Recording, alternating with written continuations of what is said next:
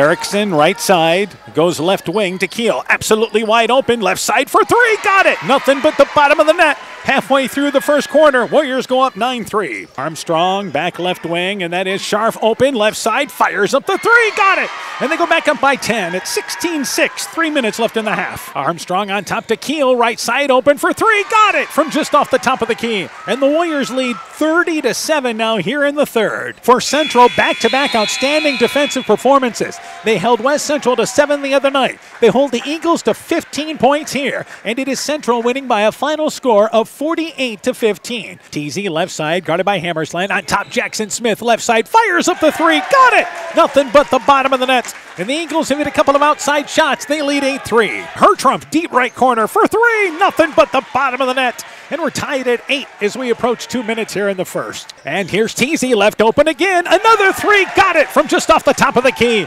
19 8. Eagles in the lead. Dudley, right side, knocked away by Hammersland. Into the backcourt, picked up by Hammersland. Hammersland into the offensive end. Hertrump left side for three. Got it! With 10 seconds left in the fourth quarter. And a timeout by Clayton Ridge. So the Warriors decide to play defense. They force a turnover, and Hertrump steps into a three. Eight seconds to go. We're tied at 29. Right side, Hertrump over to Hammersland. Right baseline for three. Got it from the right corner. And the Eagles with 3.10 to go trail for the first time at 32 29. The Warriors steal one here tonight in Elkader. Down by 10 in the second half. They close the fourth quarter on a 10 0 run to force overtime. And Hammersland hits the only shot in overtime on a three pointer that gives them the win. Central 32, Clayton Ridge 29. That's your final score.